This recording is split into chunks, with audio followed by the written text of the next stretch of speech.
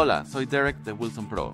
Hoy vamos a hablar sobre antenas, específicamente antenas Yagi y omnidireccionales. Popular sobre cuál es la diferencia y cuándo usarlas. Ambos tipos de antenas se utilizan fuera del edificio como la antena donante. Esta es la antena que se comunica con la torre de celular, así como proporciona la señal al amplificador.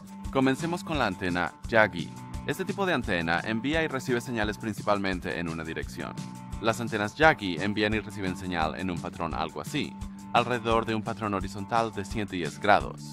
Las antenas Yagi también tienen una ganancia mayor que las antenas Omni. Necesitarás apuntar una antena Yagi a la fuente de la señal.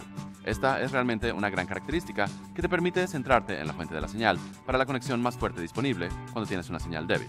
También puedes desafinar la antena AG reposicionándola para disminuir la señal entrante o ayudar a equilibrar la señal. Sistema. Antenas omnidireccionales, o comúnmente referidas como antenas Omni, envían y reciben señal en 360 grados alrededor de ellas. No hay necesidad de apuntarlo a la antena. Por esta razón, las hace ideales para ciertos escenarios. Sin embargo, las antenas Omni tienen una ganancia más baja que las antenas Yagi.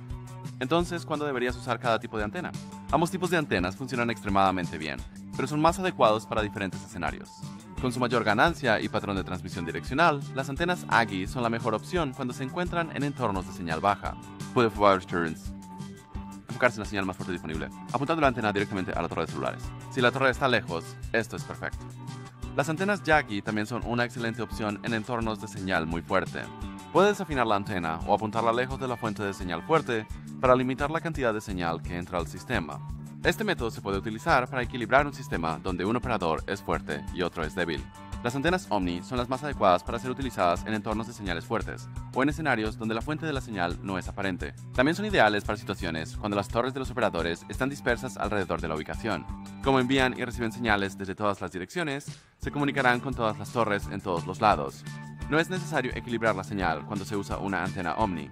Recomendamos tener uno de cada tipo de antena a mano cuando se realiza una instalación. Esta es una buena práctica, ya que nunca sabes cómo se verá afectada la señal en el lugar. Tener a mano tanto una antena Yagi como una Omni te permite probar ambas y ajustar las cosas para obtener los mejores resultados. Si tienes más preguntas acerca de estos tipos de antenas, mira este video que entra en mucho más detalle, o puedes darnos una llamada o consultar nuestro centro de soporte en línea.